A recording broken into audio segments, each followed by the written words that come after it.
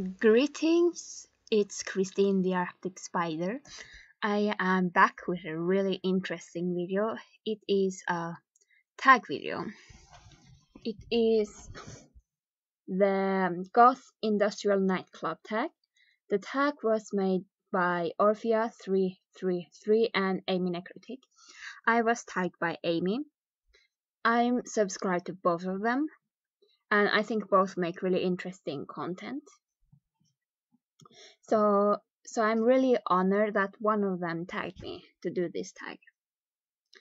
Uh, there are two things I need to mention before I start diving into the questions. Uh, the first thing is that I'm currently living home with no goth club or any club. And the second thing is that I haven't really been to a goth goth club, but I have been into a club where alternative people gather.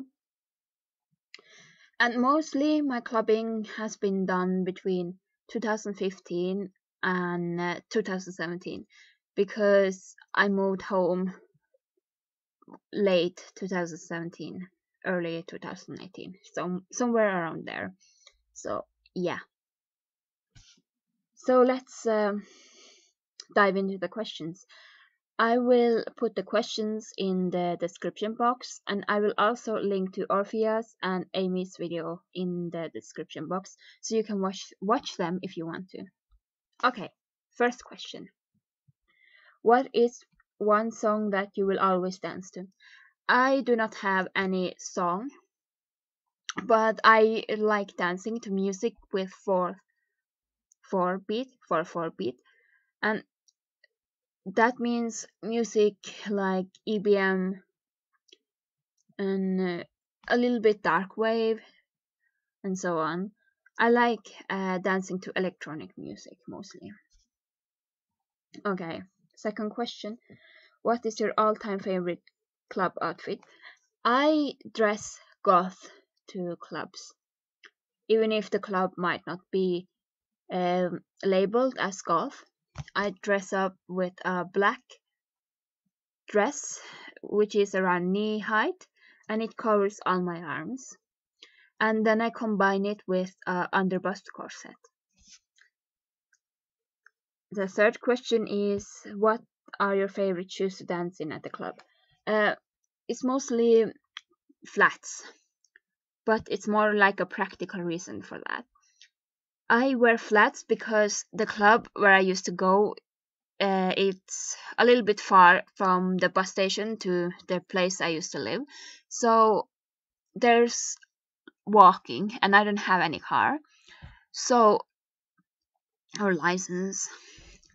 So the distance is usually quite long. It takes maybe 5 minutes or more to walk. And Norway is usually really cold and the winter starts from late October and ends late April or so on. So there's usually lots of snow and ice. The town that I used to live in is known for slippery roads. So with flats I could walk safely home and use spikes underneath my shoes. So I will put spikes into my jacket pocket and uh, then I could have easily put them on and walk safely home or to the bus station. And also uh, from the bus station to my apartment. So it was usually flats but mostly for practical reasons. Okay Fourth question What is your favorite drink to have when you're at a club? For me, it's water because I am a straight edge. Also, because I dance a lot, I usually get red in the face, so water helps with that. Fifth question Who is your favorite club DJ? I do not have any. The reason for this is because in Norway, DJing is not something serious unless you're aiming to be big. So mostly the DJs that DJ at the clubs that I went to, they are just hobby DJs. They don't make any regular nights. So I didn't see the reason to note them down. So I don't have any mostly because of it's not it's mostly useless to write them down. Usually they don't come back. So yeah okay sixth question.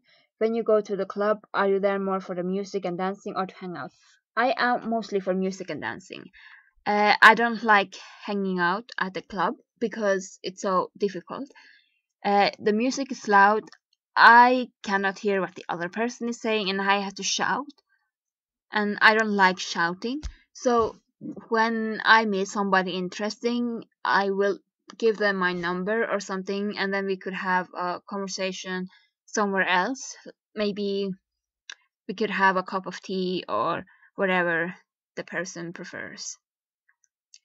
So yeah, I I ask people to meet me after the club or something like that if they are in if they are really interested. But usually the club in Norway is meant for only hooking up, unless you're there for the music and the dancing, and I'm not interested in that. Okay. Seventh question. What was your first goth industrial club experience like, and did you have fun that night?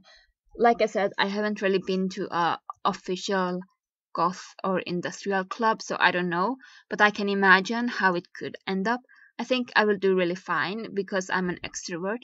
I don't have problem going to uh, places with lots of people. I will probably be okay. Just dance and have fun. Like I have experience with other clubs, so I don't think I will have an issue with blending in. Okay. Eighth question.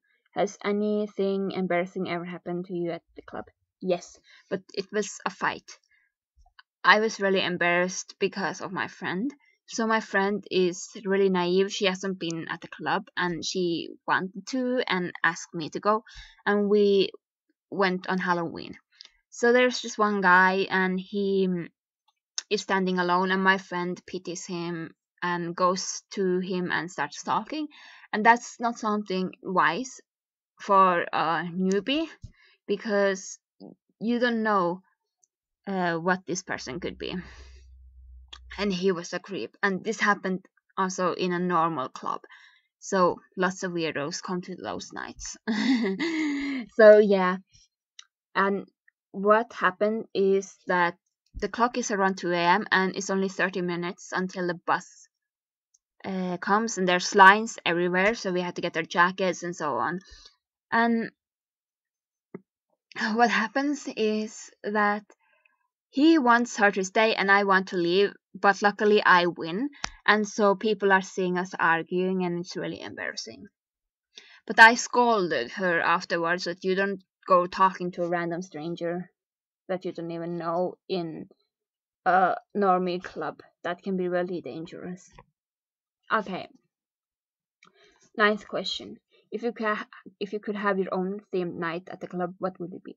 It would be a 90s uh, glitchy pixel game, and the music would mostly be, be um, rhythmic noise and so on. So yeah, I want it to be really um, not futuristic, but old school maybe. so yeah, I really like such theme, a glitchy theme. Okay, tenth question.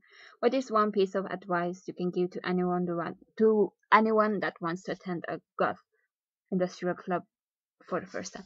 Since I haven't really been to um, a goth goth club, I can just say that maybe the best thing you could do is to just relax and have fun because mostly goth clubs I think are just like regular clubs but only with goth people and goth music. So if you have been to um, clubs before, I don't think there would be so much of a difference. But if you haven't, then just relax and take things slow if you really have to. Or if you can. So have fun, I think would be the best advice I can give. But what can I really give since I haven't really been to a official golf club? Oh, anyway, it doesn't really matter. Um, now it is my time to tag people. Um, I have decided to only tag two people. Two people that I am subscribed to and find really interesting and their content is good nice too. I'm gonna tag Accumortis. I'm really interested to know what you think and your experiences. And the second person that I want to tag is Cindy K. Hole. I, I'm subscribed to her too, and I think her answers would be really interesting to hear. Yeah. Thanks for watching, and see you in my next video. Bye.